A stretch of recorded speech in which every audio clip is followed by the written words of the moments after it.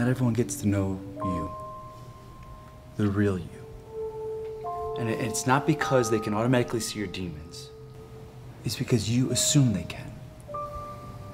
I just wish you would give people the opportunity to see what I see. So, yes. Names are just words. They're sounds strung together.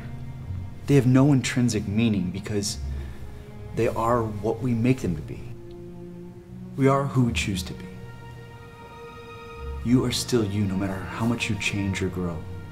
So, whether you are Annalise, Anna Mae, or, or something else, I see you, and you are enough.